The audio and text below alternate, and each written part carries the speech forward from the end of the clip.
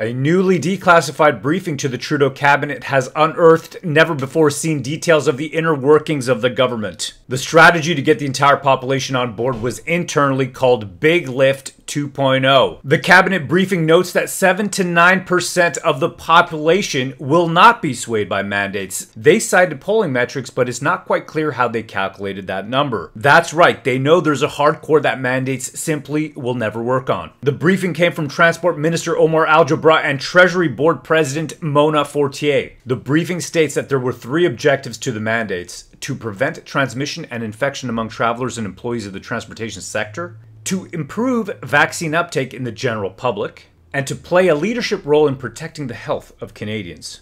And that second one right there, it looks like it worked because in the briefing it says estimates suggest that mandates led to about 790,000 additional first doses in Canada as of October 31st, 2021. So, quite plainly, it is to see the mandates were used to coerce the general public as a part of what they called Big Lift 2.0. We've heard talk about being up to date from Health Minister Duclos. Let's review. All uh, want to ask ourselves whether we are up to date 40% of adults or would not be up to date as, as of now. We can look forward to continuing the fight in the fall. 90% of all adults in Canada have received two doses, but only 60% of adult Canadians have received a third dose, putting us behind all other G7 countries except for the United States. From an internal slide from the Queen's Privy Council, marked secret, and with still a lot of text redacted, we can read.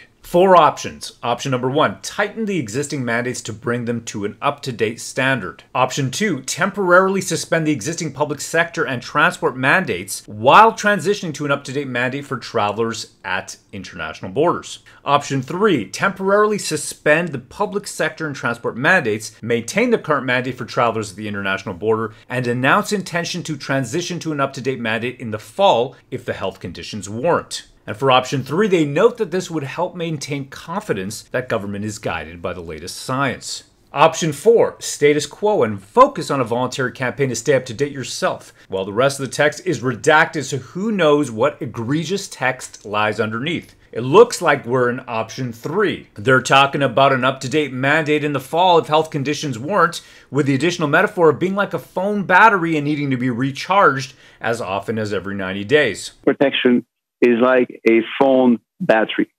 It needs to be recharged from time to time. The National Advisory Committee on Immunization, or NACI, put out a statement. The National Advisory Committee on Immunization, also known as NACI, continues to recommend a booster this fall. To quote from the committee statement, However, a shorter interval of at least three months may be warranted in the context of heightened epidemiologic risk. A big thank you to Noé Chartier from the Epoch Times, who was a federal policy analyst for over 10 years before becoming a journalist. Noé's been tireless in his work and he's been poring over thousands of pages of court documents. Check out the link in the description to his articles. The declassified information was revealed as part of the federal court case against the travel mandates didn't see any reason I should be running away. I'm not prepared to accept that kind of blatant discrimination against Canadians, including myself. So the option you have is to do something and fight. Connected by Roman Baber, Shaun Rickard, who is now banned from Twitter and LinkedIn,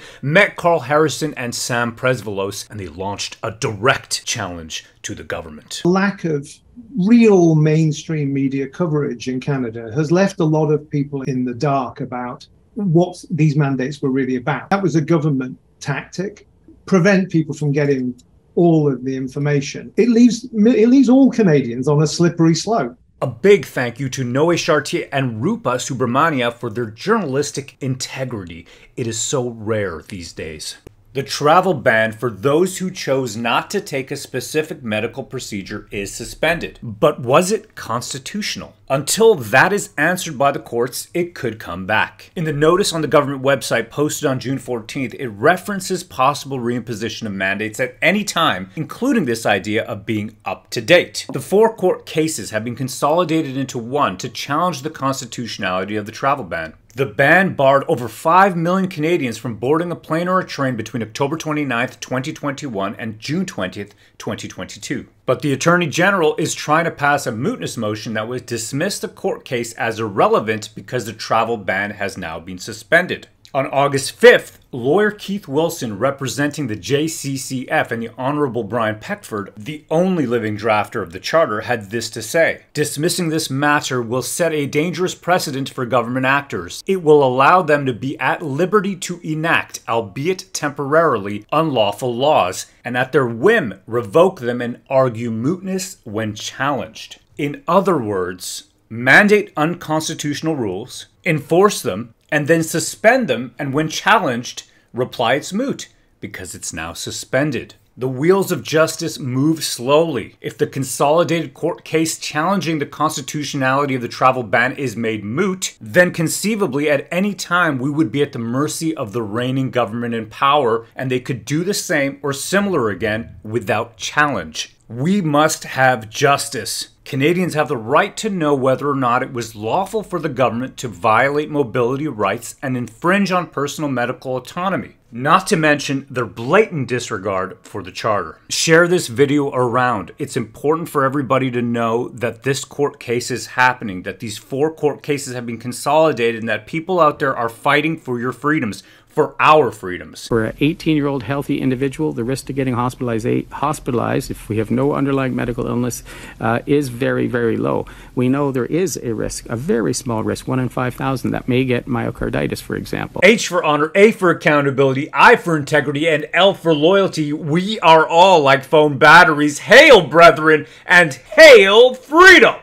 My name is Rohan Kumar Paul. I live in Ottawa with my mother, wife, five children, and German Shepherd. I was Chief Technical Officer for a tech startup in Ottawa until I was fired in February for covering and participating in the Freedom Convoy. I need your help, brethren, to keep the war campaign doing what it's doing. We started out fighting the culture war as we saw an art form we loved descending into degeneracy. Comics have always been about heroism, but not so much these days. We decided to bring that back. I'm happy to announce the Vestige graphic novel series will be available for purchase at the end of this week. Get on the WCFreedom.com mailing list and support us in our defense of the multi pronged war on culture, politics, and basic human decency. It's a 360 degree win, brethren, as you get epic historical fantasy graphic novels that make a great Christmas gift for the young and old. And you keep us, the war campaign, fighting for freedom. Honor, accountability, integrity, and loyalty. Old virtues that need a comeback. Hail, brethren, and hail freedom!